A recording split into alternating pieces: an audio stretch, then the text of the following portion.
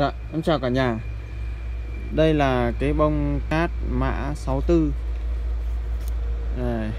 Em quay lên máy làm sao nó nhìn nó nhạt nhạt đấy Còn ở ngoài là nó vàng đậm hơn Đó. Cái bông à, cát 6 mã 64 này là là cái dòng cát hai lá Đó. Cái trên này nó có ba được ba bông này Nhưng mà một bông kia nó sắp tàn rồi em ngắt rồi đó cái hoa nó đường kính hoa này nó được khoảng 5 đến 7 cm đó, còn ở đây thì có mấy dòng cát khác nhau này. Ví dụ như mã 84 này.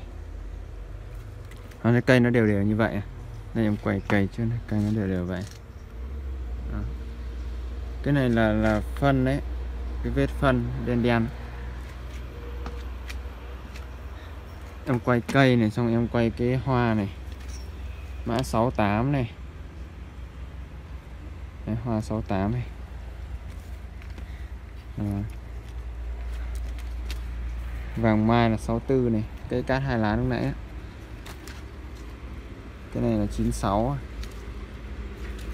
Đấy. 96 cái này là 80 đó. Cái này cũng 80 này.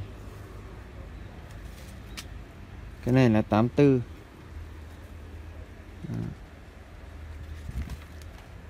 cái này 68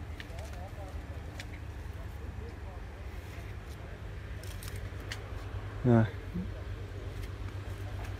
Nó có mấy mã đó? Cái này 96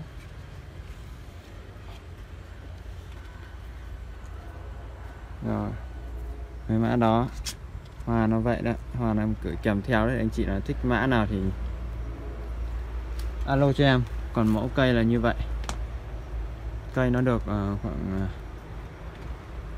bảy tám giá hành rồi. Hai trăm rưỡi một chậu. Cái này thì nó thuần rồi nó khác cái hàng thái mới về. Rồi em cảm ơn cả nhà. Chắc em dừng tại đây. Cái này là giả hàng đây. Giả hạt rừng đó.